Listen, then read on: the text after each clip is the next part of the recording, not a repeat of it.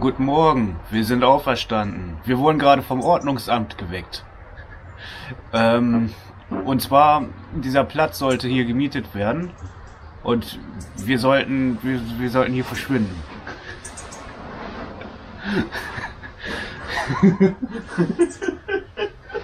und, und deswegen, und deswegen gleich Kaffee machen, äh, Zähne waschen, ähm, Sachen zusammenpacken. Und Und bis halb zehn verschwunden sein. ja, ich weiß jetzt nicht, wie spät wir es haben. Ich guck mal ganz 20 kurz. vor. 9. 20. Ja, 20 Ja. vor, ne? Naja, gut. Ja, in einer Dreiviertelstunde müssen wir müssen wir hier spätestens verschwindet ähm, hier weg, weg, weg sein. Ja, vor allem ähm, weiß man das halt so nicht, weil normalerweise sind Schutzhütten für jeden frei. Und komplett öffentlich. Aber das hier, dieses Objekt schien irgendwie anders zu sein. Dass man sich hier ähm, also der Ordnungsamt hatte eben gerade gesagt, dass man sich eigentlich normalerweise sonst immer anmelden müsste, um hier zu verweilen. Was wir halt nicht wussten. Ja gut, ist halt so. Gab's auch keinen Ärger oder so.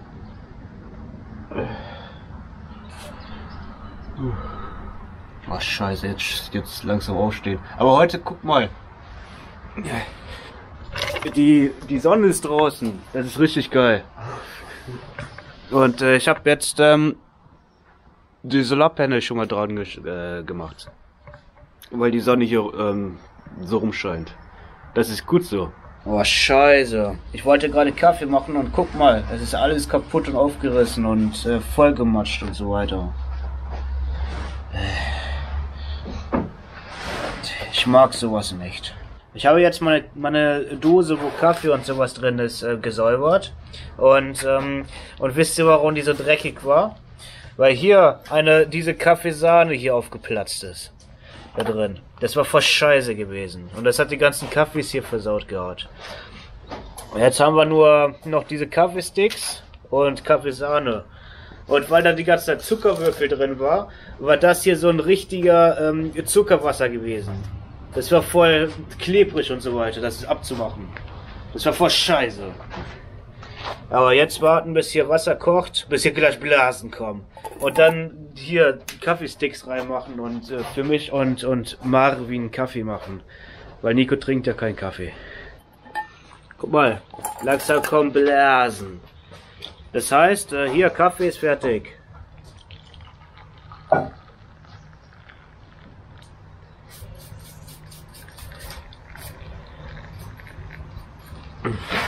Also gut, das hier ist nur heißes Wasser, aber ich habe hier diese diese Sticks.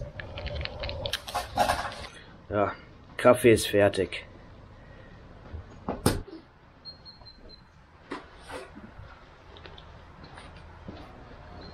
So. Kaffee ist fertig. Ja, kann ich immer wieder, ähm, wieder mich wiederholen. Kaffee in der Natur zu saufen oder beziehungsweise draußen ist voll geil. Ähm, guck mal, hier vorne ist eine Toilette und ähm, der Ordnungsamt, der hat uns freundlicherweise hingewiesen, dass, ähm, dass wir, dass wir uns hier auch ein bisschen frisch machen können, bevor wir ja, abreisen. Sehr nett. Und deswegen werde ich hier drin jetzt Zähne putzen gehen und sowas.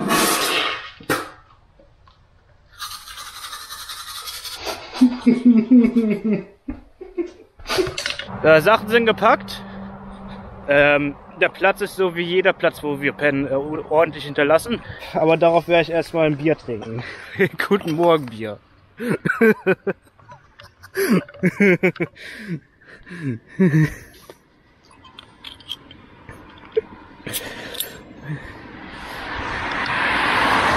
Gib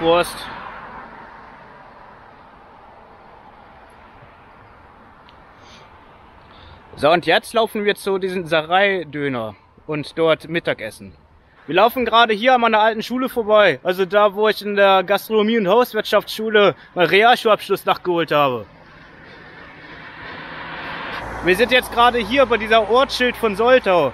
Ähm, also genau da, wo 50% von der Gesamtstrecke ist. Von ganzen Halsschnuckenweg. Und ähm, ich habe diese, diesen Schild hier noch nie gebierpowert. Das muss geändert werden. Bierpower.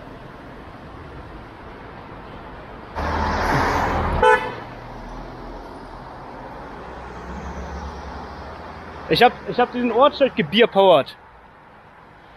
Oh Scheiße. Wir sind gerade, wir sind gerade an, der, an meiner Schule vorbeigelaufen. Und ich habe euch vergessen, die nochmal zu zeigen. Also da, wo ich ähm, die schulische Ausbildung angefangen habe. Dieser kaufmännische Assistent für Informationsverarbeitung. Das habe ich gerade vergessen zu zeigen. Das stört mich irgendwie, dass ich euch das vergessen habe, euch das zu zeigen. Ich bin da einfach vorbeigelaufen. Das ist richtig widerlich. Das gehört sich so nicht. Wir laufen jetzt gerade durch Stadtmitte durch. Ähm wir sind äh, hier äh, vor Sarai Grill, ähm, aber der hat erst um 12 Uhr offen und wir haben jetzt ähm, äh, diese Uhrzeit, ähm, halb elf. Und ähm, wir, deswegen gehen wir jetzt äh, zu Expert oder so, äh, da, nach, da, da hinten hoch. Das ist ein ganz weiter Weg von hier aus. Oder weiß nicht. Aber auf jeden Fall muss man schon ein bisschen laufen. Keine Ahnung, halbe Stunde oder so.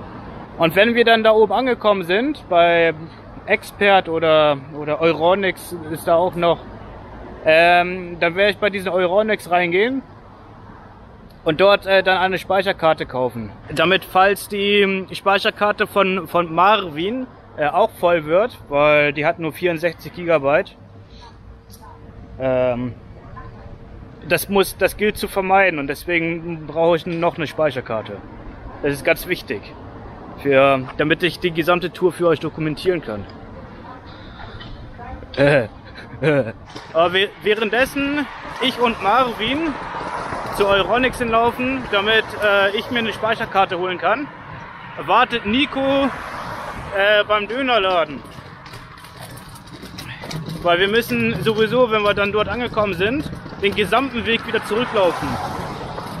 Und wir schätzen mal, dass, dass das ungefähr eine Stunde dauern wird, bis wir wieder zurückgekommen sind. Beim Dönerladen. Aber wenn wir wieder zurückgekommen sind, dann kann das sein, dass dann bald 12 Uhr kommt. Und dann können wir dort Mittag essen. Döner.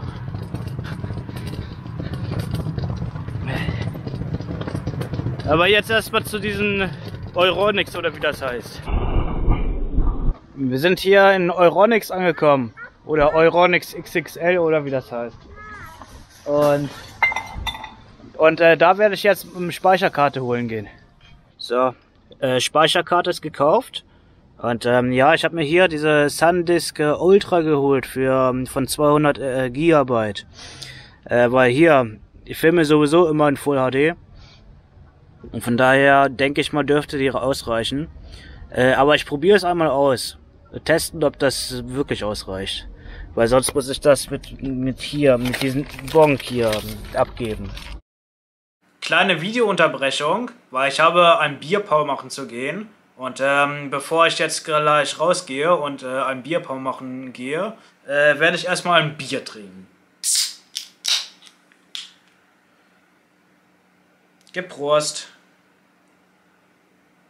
So, ich habe gerade mein Bier ausgetrunken und jetzt werde ich rausgehen und das Bierpower machen gehen. Ich bin draußen und ich habe hier ein Bierpower-Schild gefunden. Ich grüße dich, Hades 92. Vielen Dank für das Abschließen der Stufe 2 Bierpower Kanalmitgliedschaft. Und jetzt wird, ähm, wie heißt das Ding? Und jetzt wird das Video fortgesetzt. Ich habe gerade diese SD-Karte einmal kurz eingesteckt und ähm, getestet. Und ähm, die scheint, die scheint bei mir auf jeden Fall gut zu funktionieren. Also von daher habe ich jetzt erstmal ein bisschen Speicher für, damit ich für, für euch diese ganze Tour vollständig äh, bis zum Schluss dokumentieren kann. Das war mir ganz wichtig gewesen. Die hat ähm, 30 Euro oder so gekostet. So, jetzt wo ich die Speicherkarte erfolgreich gekauft habe und die auch funktioniert, ähm, jetzt gehen wir den ganzen Weg wieder zurück bis zum Dönerladen, um dort dann gleich Döner zu essen. Und äh, Nico wieder zu treffen.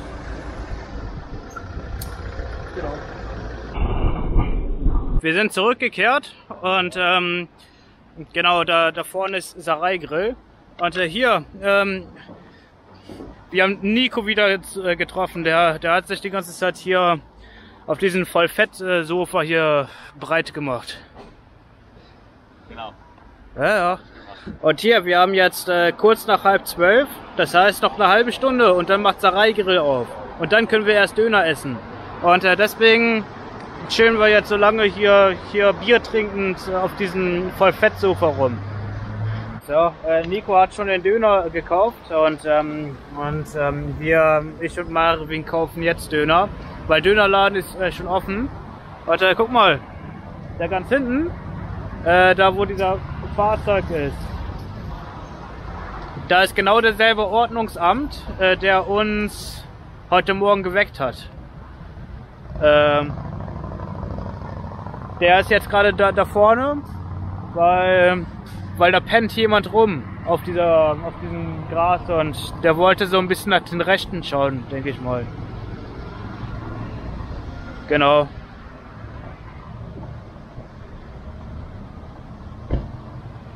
Aber wir, wir werden jetzt ein bisschen Döner äh, kaufen gehen. So, äh, Marvin und ähm, ich ähm, haben uns auch Döner ge geholt jetzt. Und ähm, ich kann im Voraus sagen, dass der, dass der empfehlenswert ist, dass er gut lecker ist.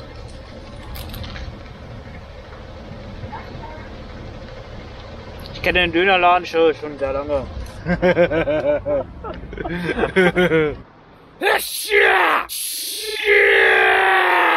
Hier, wir haben aufgegessen. Und ähm, er möchte auf Toilette gehen. Das macht er jetzt.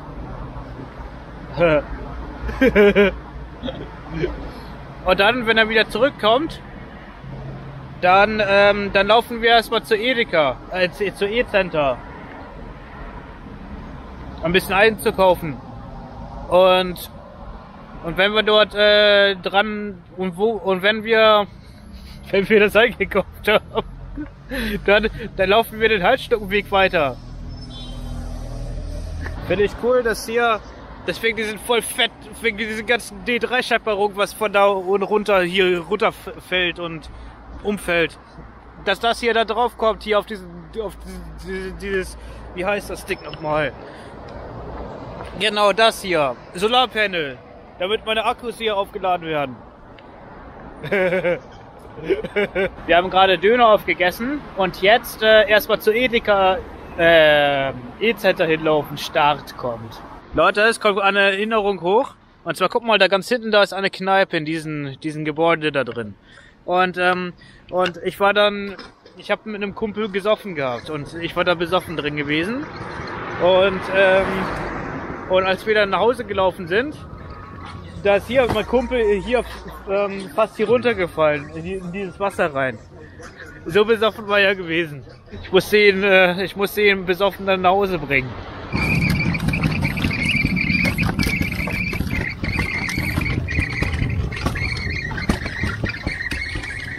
Da oben steht Teekesselgeräusche. da oben steht Zelle drauf.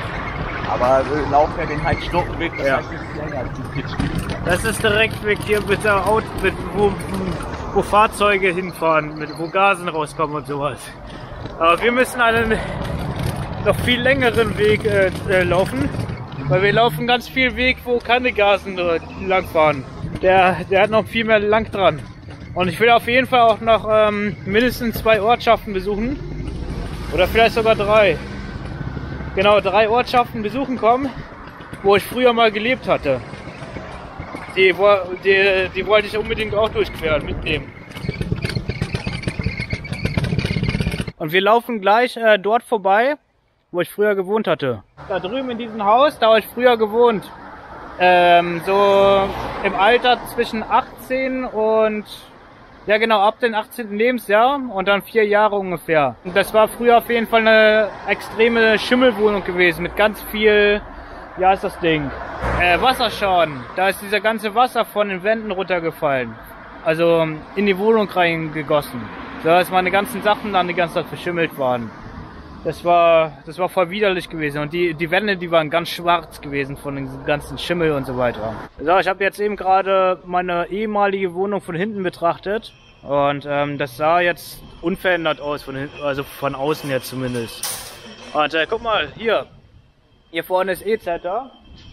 Und ähm, da werden wir jetzt Bier und noch mehr Sachen kaufen gehen.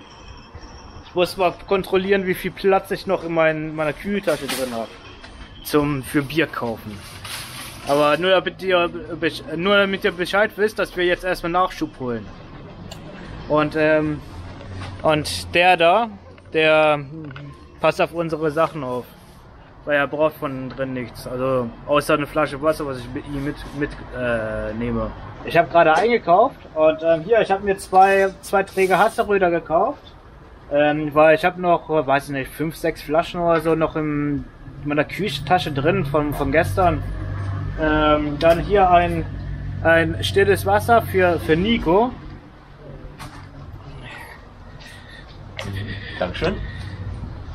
Äh, und, ähm, und ich habe mir hier zwei Apfeldreiecke gekauft. Zum Unterwegsfressen. Und hier, ein Zeller Bier, Pilsener. Das muss genutzt werden, wenn man hier so in dieser Gegend ist. Weil hier gibt's Zeller Bier. Hier kann man Zeller Bier kaufen. Und den hier, den werde ich jetzt trinken. Zum Zeller Bier trinken.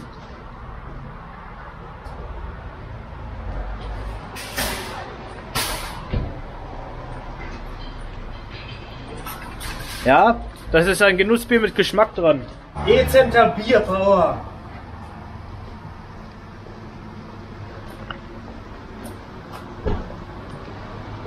Das war E-Center Bierpower gewesen. Äh, vor E-Center.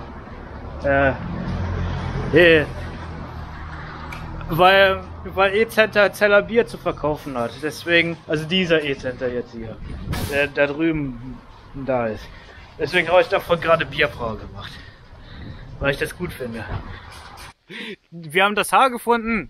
Wir sind jetzt äh, hier bei diesem Heidschnuckenweg angelangt. Ja. Je- Jetzt im Heidschnuckenweg Fortsetzung Start kommt. Leute, ich habe mich jetzt gerade obenrum frei gemacht, weil guck mal, weil hier, der, der, weil von oben hier der D3 und die Temperaturen scheppern, das ist voll geil. Der, genau so hat das zu sein. Und nicht anders. Deswegen habe ich das hier, hier drangehängt. Äh, und da, damit ich das hier weniger vollschwitzen tue. Das ist richtig geil. Das gefällt mir. Ja, Ich, bin echt fast von meinen Füßen gefallen.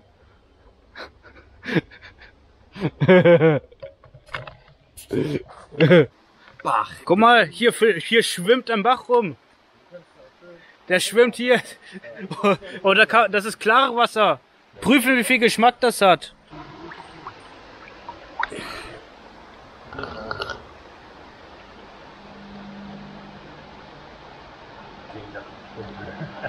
Ja, ich würde sagen, ein bisschen eisenhaltig, aber, aber ich denke,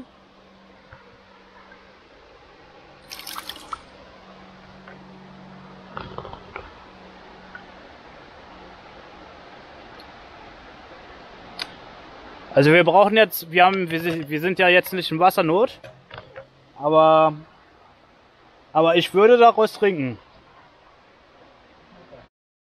Guck mal, da drüben steht drauf, äh, Wietzendorf noch 15 Kilometer. Da müssen wir durch. Das ist die nächste Ortschaft, die wir da treffen. Und äh, hier durch Müden-Oerze, da werden wir auch durchlaufen. Aber ich vermute mal, dass wir, dass wir erst morgen durch Müden äh, durchlaufen. Geprost. Geburt.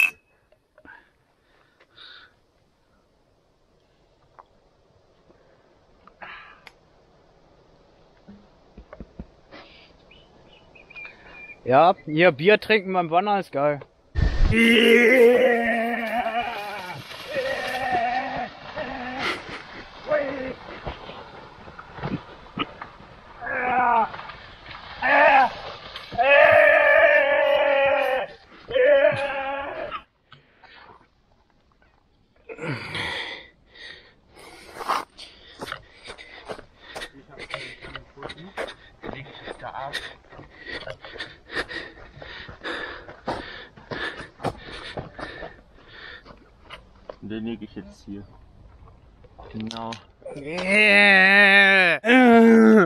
Der ist mir runtergefallen.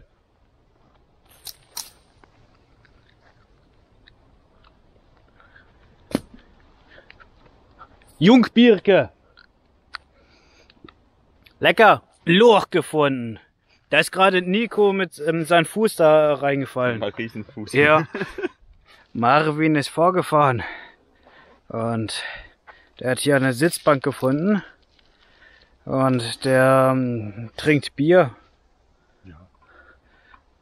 Prost. Ja, ich auch. Ah, nee. Geprost. Oh, geh Prost. Okay. das ist mal was Neues. Ja, bitteschön. Ja. Dankeschön. Wir machen jetzt hier Halt an der Sitzbank.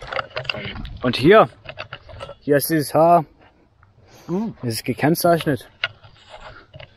Dass wir einen richtigen Weg sind.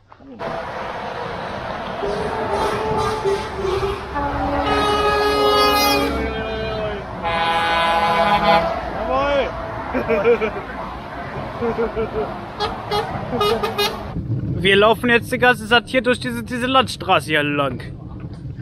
Da läuft auch dieser Heidschnuckenweg lang.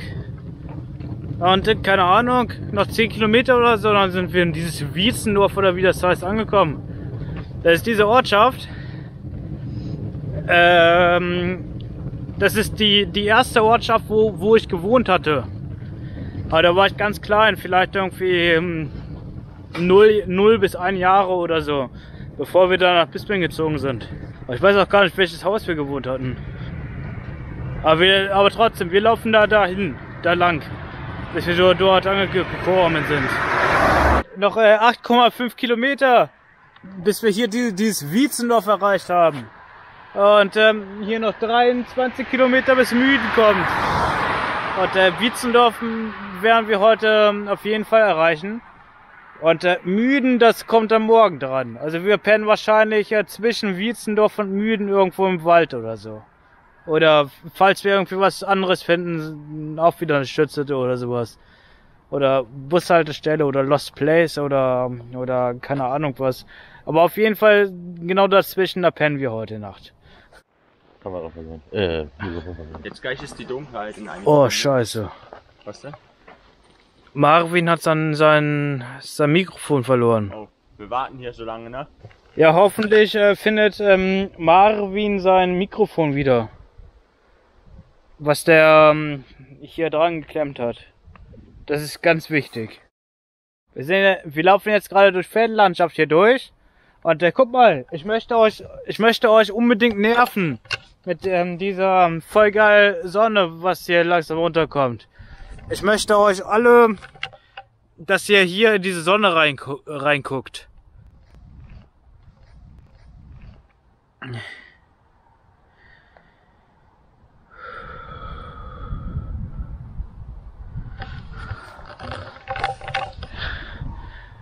Ich würde es geil finden, wenn, ihr da jetzt gerade reingeguckt habt. Weil ich finde das, ich finde das geil, da reinzugucken. Oder, oder irgendwie auch nicht, weil das zu hell ist. Guck mal, da hinten, da hinten ist Sonnenuntergang. Das geht runter da hinten. Aber richtig. Das war ganz wichtig gewesen, dass ich euch gezeigt habe, dass da hinten Sonnenuntergang kommt und Dunkle kommt. oh Scheiße, hier guck mal, diese Minibox hier vorne. Ähm, die bricht hier vorne die ganze Zeit diese Ladung ab. Und ähm, ich glaube, die ist jetzt langsam, die hat so, so langsam den Geist aufgegeben. Und, ähm, und weil sie hier diese Ladung, also gut, jetzt, jetzt gerade, wo der leuchtet, der ladet jetzt gerade, aber, aber die meiste Zeit äh, bricht ja die Ladung ab.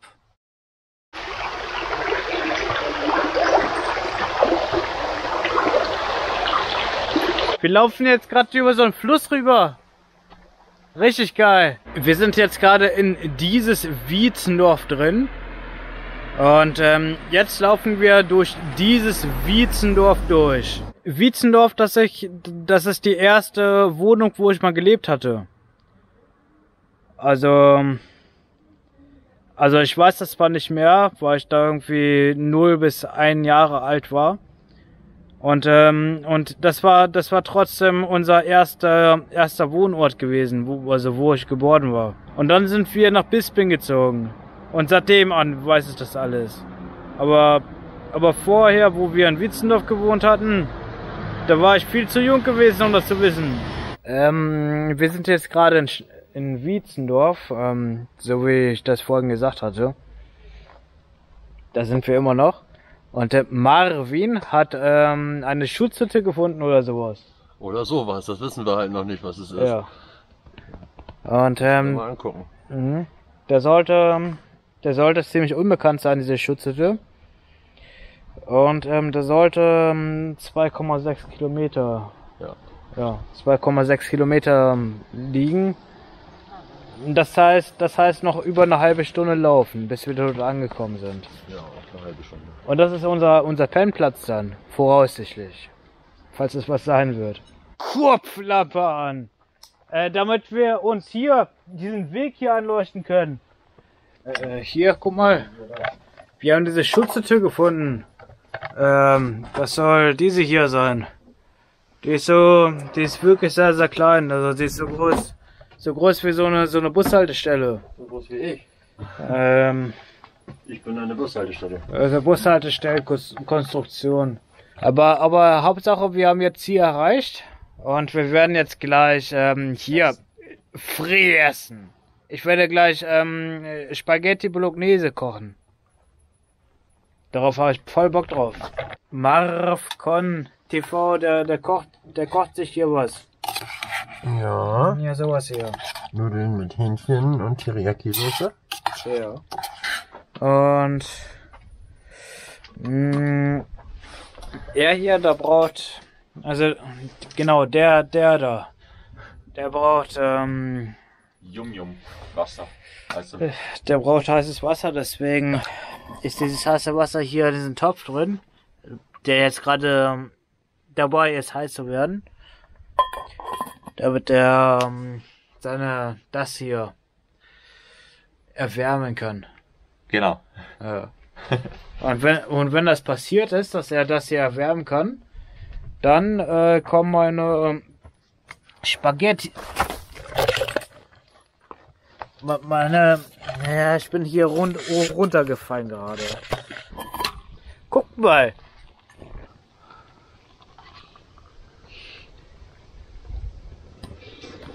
Fertig.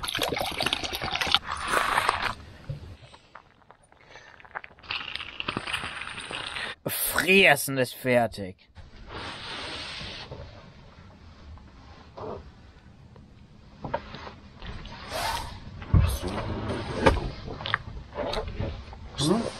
Ich teste gerade, wie ich am besten liege. Ich finde, das hat voll cool Geschmack. War geil. Gefällt mir. Hier, die Pennplätze sind belegt. Und zwar, guck mal. Hier vorne, hier hat ähm, Marvin, äh, mh, genau, ich mache das ein bisschen heller. Genau, hier vorne hat Marvin hat sein, ähm, seine Hängematte aufgelegt äh, aufgespannt, damit er genau hier drin rumpennt. Und wir, ähm, und zwar hier, guck mal, das da, also Nico, der hat hier seinen Pennplatz Nee, hier oben. oder oder hier oben auf der Bank, wie auch immer. Und ich habe hier, genau hier auf diesem Boden hier, meinen Pennplatz. Hier werde ich rumschlafen. Und ähm, Marvin, der wird uns leider morgen früh verlassen. Aus arbeitstechnischen Gründen. Was sehr, sehr schade ist. Ja, leider. Aber geht ja nicht anders. Ja, Aber dauert nicht lange, dann machen wir nächste Tour. auf jeden Fall. Mhm. Muss gemacht werden.